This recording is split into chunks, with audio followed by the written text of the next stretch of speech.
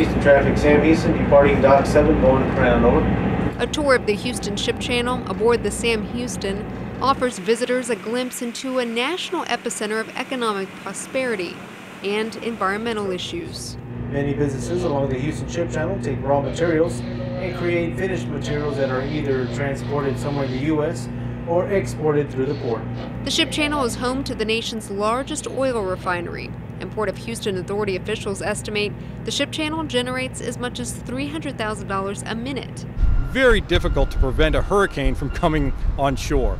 So, really, the thing you have to concentrate on is how can you mitigate the impact, how can you respond to it, and how can you get back open quickly. In 2008, when Hurricane Ike struck nearby Galveston, businesses along the channel dealt with a storm surge as high as 16 feet and a power outage that shut down operations for two weeks. As a result, the Port Authority expanded its emergency operations center and companies rebuilt their docks higher.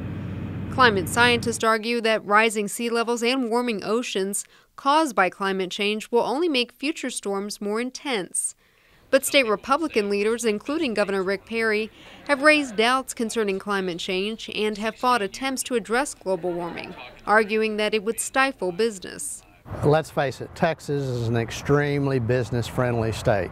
You have the governor going all over the, the U.S. promoting Texas as a place for businesses to make their home because of its business friendly environment. Larry Soward with Air Alliance Houston, an environmental group, served on the Texas Commission on Environmental Quality from 2003 to 2007. The former Perry appointee says climate change was not a political issue back then. But today he says the Houston Ship Channel is more than just a hub for economic growth. Not only is Houston and Harris County the epicenter of environmental issues such as global warming uh, and climate change and, and ozone, but it's also the, the economic engine of the state and even to some extent of the nation because of companies and industries like you see behind me and all the others along the ship channel. If Ike had been a stronger storm and moved further to the west, then Houston could have experienced storm surges around 25 feet. In other words, they would have been flooded with, say, 10 feet to 15 feet of water. And that includes most of the Houston Ship Channel as well.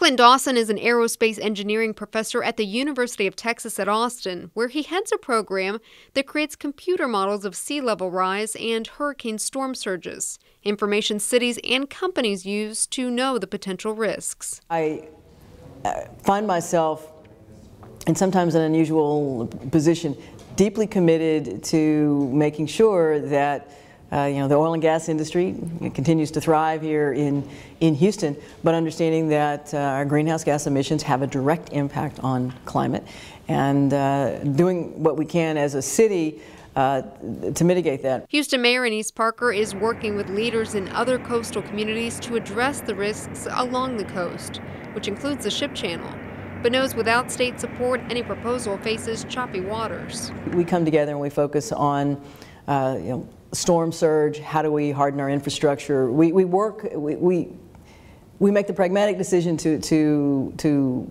not throw buzzwords at each other, but to focus on where we actually can make a difference. In the meantime, industry continues bustling, and a resolution to the climate debate is not on the horizon. Reporting along the Houston Ship Channel, this is Alana Rocha with the Texas Tribune.